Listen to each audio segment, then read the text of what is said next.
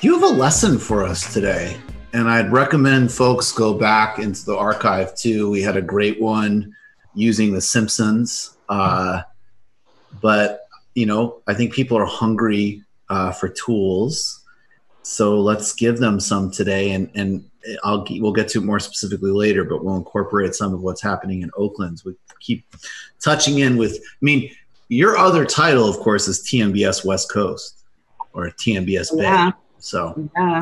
so we've got to have it all in. So, Joshua, what is the lesson that we're learning today? So, just to give some context, I've been a part of a network of nonviolent direct action trainers for about 15 years called the Ruckus Society, which right now is like reignited and all over the country, supporting um, you know massive numbers of people to maneuver the streets in decentralized ways. And um, I've been doing protest coordination in a variety of movements really since the 90s, from movement moments like the global justice moment and different iterations of the post Ferguson stuff, or um, or Occupy and uh, Keystone XL. And there's ways that this moment is substantially different than others. And then uh, there's patterns that it also fits into and lessons I think we can apply. So what I want to share is not meant to be political strategy for this movement. That's like literally not my role in the movement and not my place. There's um, my relationship to this movement has been one of like offering some tactical solidarity and support. But my hope is that while we can be rooted in what's going on around us right now, um, that it'll also be applicable um, to future uprisings because I think that we need to anticipate that unrest will continue. Uh, it's not just going to be on this front, but on a variety of fronts. You know, like hunger is staring people in the face right now, and uh, there's going to be more inflection points. Um, some will be predictable, like the election's probably going to be another one, and some of them are not going to be predictable. Um, so I wanted to start by talking about uh, the relationship between uprisings and sustained organizing. And because the influx of energy that's happening right now is like a really good fuel. Um, but you know, it can't sustain you for that long. And at the same time, the best way to balance a bicycle is by being in motion, by pedaling and moving, right? And um, the first thing I want to share is just it's it, it's exciting to me to see on social media uh, a lot of tools and lessons being being shared that are grounding people in the long haul nature of the fight of being like you know the freedom rides lasted seven months montgomery bus boycott lasted over a year greensboro sit-ins lasted six months that i think people are grounding themselves in not letting this be um, something that happens in the moment and then people go home um, and there's a contradiction in these kinds of moments like a friend of mine who's in an organization in new york just said, uh, told me, we've just had the biggest mass meeting we've ever had since Trump got elected. Uh, and also, uh, it feels like our organization is on the brink of falling apart. And so that's the kind of contradiction that I want to speak to with this lesson. And um, it, I want to start with a framework uh, from an organization called Movement Let, uh, Net Lab that was given to me by one of my Wildfire Project comrades, Samantha Corbin. Um, David, could you put the graphic up? Thank you. So I'll describe it for people who are uh, listening and, and not watching. Um, think of this graph like the heartbeat of an inflection point of an uprising. So um, the the this is you know COVID might actually change the curve of this, ironically, um, because one of the things that's different about these conditions is that um, a lot of organizers don't have to balance their normal jobs with also organizing because they're fucking out of work. um, and on the other hand, being out of work is um, really pushing people to uh, the brink that makes things even more chaotic. And so um, I'll describe this curve and then just share some thoughts about where I think we're at in this moment and what it means. Um, so uh, it starts by the in the first part of this graph. There's just the context. These are the material conditions. This is the enduring crisis uh, that we are in. It's persistent and worsening conditions. And then there's a trigger event. And uh, trigger events are just anything that sparks that tinder. They can be small or they can be big. In this case, it was big.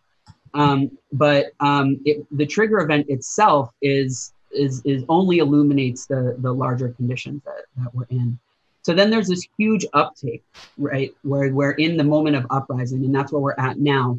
And there's massive numbers of people get mobilized and they're looking for action. It's also a time where the veils fall away, right? Um, and that eventually gets into the next phase, which is a peak. And it's it's you're never clear whether you're in the peak or not. It's not at all clear whether this is the peak, whether this is going to accelerate further, and the peak is going to be much more dramatic than this. Um, but in the peak, the movement is uh, recognized. It has media penetration. It changes the national conversation. Um, and leaders in the movement are often regarded as having a lot more power. And that's the moment where elites make gestures towards that power, right? They need to find some way to position themselves in relationship to it. After the peak, always comes a contraction. Um, and so the contraction can take the form of a backlash, reactionary elements organizing against us, um, a decline in numbers of people in the streets, burnout of key organizers, internal disagreements, infighting. And it's important to anticipate that that's going to come. Um, and I'm going to speak more about that in a minute. But then the next phase is, is what's called evolution, where it builds back up. And then the longer term organizing projects take root. And either they take advantage of the openings that were made possible by the uprising and drive long term uh, concrete change, uh, or they don't. And um, that, that's the opportunity to really apply and concretize those things. And it's also a moment for within movements to open up reflections, to learn lessons and builds and, uh, and really systematize infrastructure to then be in the next phase, which is the new normal, right? Changed conditions. And so when uprisings are not successful and movements can't actually systematize them, these things just happen over and over again in a cycle, and the new normal doesn't change that much. Um, I believe we're at a point that is distinct in our lifetimes. Um, I don't just believe that; everyone I know seems to believe that. Um, and in that in that context, I want to just share some lessons that I've learned. Uh, the point of this this kind of graph is it's, it's useful to think of it like a like a heartbeat, right? Or it's like an inhale exhale. So the line looks a little bit differently every time. You can sustain different parts of it for different amounts of time, but the, the point is not to sustain the peak for as long as possible. It's important to not get confused, the thinking like to confuse the peak moment of uprising for the revolution. um, it has an important role to play, but if you try to sustain it, it's one, you can't maintain it forever. And two, um, that's how movements collapse uh, from their own internal contradictions and burnout. And so the last thing I'll say about this particular graphic uh, before we can take it off the screen is that there's actually a whole tool associated with it that allows you to um, map your particular role in the movement ecosystem. And it gives advice on what should our priorities be during a particular moment based on whether you are doing outreach and absorption or you're doing communications or you're doing support for self-organizing or you're trying to resource it or do healing or relationship building or political education or arts and culture there's the tool goes through and you can actually locate yourself and the kind of role you're playing and then see based uh, based on here what what is a useful focus at least from what we've learned in the past um, so you could take it off the screen thanks Griscom.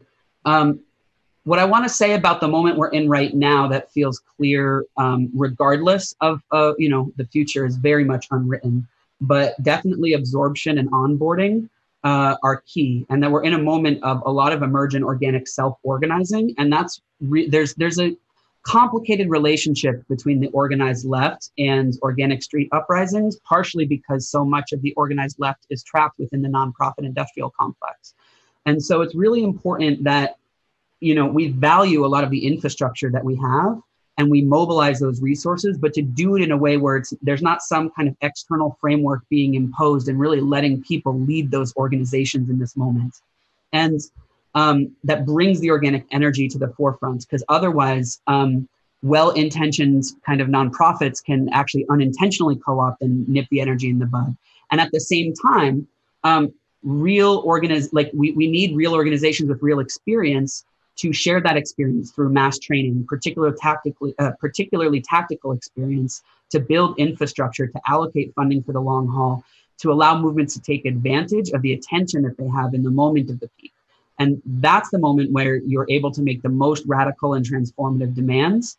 And then everything gets shaped by the flag you kind of stake in the ground there after those moments during the contraction, that's when the infighting always comes.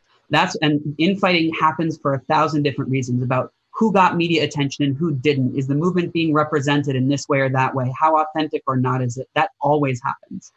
And the best advice that I would like to share um, is that if you're in an organization, it's really important to, after your actions, after your mobilizations, start having debriefs now. You won't want to. It will seem like there's not time, but it will prevent breakdowns from happening three months from now. You have to learn to give and receive feedback. Otherwise, divisions simmer and fester. You don't learn. People become entrenched in their positions rather than letting this moment teach us and rather be than being students of our context. And soon we're going to need organizations that know how to serve groups uh, after they start to splinter under the pressure. And that's that's one thing that my that the Wildfire Project does. That's part of why we were founded was to support groups emerging out of crisis to shift into um, long-term sustainability. And the balance between rapid response and long-term infrastructure also it, like it really matters how we take care of each other that we need a trauma-informed um, orientation to healing because right now we really are seeing a rupture that is a real opening. And we also need to be honest that the road ahead is going to almost definitely include escalated authoritarianism. And the consequence of that is physical trauma uh, on uh, that is compounding for the existing trauma that people are experiencing. And if our movements can't hold people in that trauma, our movements get uh, toxified by it. And so, um, the, one example of this of, of, of, of this dynamic is um, on one hand, we need to really celebrate the uh, Minneapolis City Council announcing their intention to disband the police and really amplify that as much as possible, while we also know that, and this is what you talk about on this show, that in order for that to go in a transformative direction, it's going to take years and years of organizing that is going to be painstaking. And it's going to be, and it's going to include needing to change laws that are actually outside of the jurisdiction of the city council. And so it's going to require a, a different orientation to coalition. And there's also the barriers are going to keep coming up as you get more power. Um, and you know, the word that I just got from a friend who's an organizer in Minneapolis is that the cops are are uh, threatening to go on strike as a result of this, and so things are going to get more chaotic. And which is why I think there's um, and feel free to stop me. I know I'm just kind of going. Is it all right if I keep going? Yeah, great. So it's really important, I think, and this is, you know, we're just in the terrain of me giving my personal experience here. And so um, I, I just want to offer that humbly and in context that, you know, our world is changing. But um, it's important to celebrate our victories as much as possible. And there's a careful dialectic here. And I want to actually ally with Matt on a conversation that you guys were just having earlier in the program about um, rhetoric, which is that you know, it, it, the, the entire public narrative about the role of police is unraveling right now. And in the US, our generation, after 45 years of backlash um, and the recent decade of liberals really perfecting their performance, uh, especially with you know clown displays like the Democrats like wearing kente cloth yesterday and all of the you know foolishness like that. Um, it's really easy to be cynical of every single gesture or statement that is not material and think that every single one is bullshit. Um, but we don't need to throw cold water on every gesture either. Instead, we can look at it as an indicator of the game shifting. And so, what I mean by that is that um, this is what my elders uh, who've been through these mass movement cycles and even participated in revolutionary moments in other countries uh, have told me this week. What they've what they've hammered home for me is that there's a real the danger of cynicism is that you put yourself in a bunker of a permanent opposition mentality where if you only ever imagine uh, being in the role of holding someone else with real power uh, with real power accountable then you can't think of yourself as part of a governing coalition and we need to think of our movements uh, as saying we want to run the country which means the left needs to lead everyone which means we want to lead a coalition that can expect, you know, we can't expect everyone in our coalition to have like, you know, pure revolutionary politics. No revolution in history has led a coalition that everyone in the coalition has agreed with the maximum demands of the revolutionaries within it, right? Um, and so, therefore, in order to get a set, get a sense of what a coalition looks like, we need to measure those shifts based on where people's previous positions were and how far we're able to move them, which is the spectrum of allies, which was the Simpsons lesson we did before, right? And conditions are changing right now. And um, if you can't imagine yourself as part of a governing coalition, um, then you've already lost. You'll never run the country. And when there was no possibility of winning anything meaningful, because that's the stance we've been in, that's the stance I've been in for most of my life. Then, when ruling elites uh, like uh, adopt rhetoric, it's obviously feels meaningless. Um, but now um, we can imagine it as something to build upon and an opportunity to drive a necessary wedge into, which is what Dr. Cornel West was doing in the clip you were playing earlier by calling out co optation. So, um, what I'm saying here is that uh, when we see members of our opposition signaling sympathies, we both need to be vigilant that I'm so glad on this program you're talking about the degree to which those are often psyops because it is propaganda. Um, and it's, a, it's, it's cynical. It can be co-opting and face saving. Um, and some of it might be sincere. And in many cases of those cases, it doesn't matter. What matters is, is it an indicator of the expanding arena of struggle? And so just to be to ground what I'm saying, what I'm talking about in this moment is I'm not talking about the kente cloth stuff. I'm talking about things like Confederate monuments being removed all around the country in Birmingham and Virginia, the Robert E. Lee one. I'm talking about, you know, New York Times uh, editors demanding that that op-ed guy be fired. I'm talking about U.S. embassies across Africa condemning police murder. Those are symbolic things that I think we can allow ourselves to get excited about. And that's that's the balance is refusing to settle for anything that's not real and continuing to push, but still allowing ourselves to be inspired by things because some of the spectacles are related to the way we transform consciousness too. Um, and so we have to be able to also imagine some of our opposition changing. And if we if we can't imagine any of our opposition changing, then like let me give the most extreme example because you uh, were were um, posting a picture of your Amilcar Cabral book, um, which is this is like a high bar, I admit. but so for folks who are you know not familiar, Amilcar Cabral, Cape Verdean revolutionary who um, helped organize a revolution in Guinea-Bissau against the occupying Portuguese that was so successful. Not only did it um, overthrow those occupying soldiers, but actually so deeply transformed the consciousness of those soldiers that they went home to Portugal and made a revolution there as well. And there's an aspect of that that I think is like actually pretty amazing spiritual warfare. But the point is that it followed the mechanics of power. These Portuguese soldiers learned these Pan African, like they learned, like they learned these Pan African Marxist theories because they were losing and they wanted to understand why they were losing if they were winning, they wouldn't have read Cabral's like writings in the newspaper. They wouldn't have cared at all.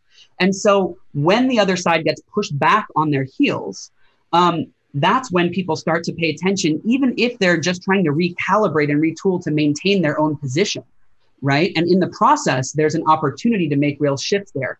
And so uh, I'm not saying that we should celebrate bullshit. It was also Cabral who said, claim no easy victories. and right. so I, I just wanted to thread that particular balance because I um, I think it's right to be skeptical. You just watched a Michael Brooks show video. Subscribe to get them all. Why wouldn't you? Don't be foolish. Click subscribe below and become a patron as well. Patreon.com slash TMBS. Thanks, everybody.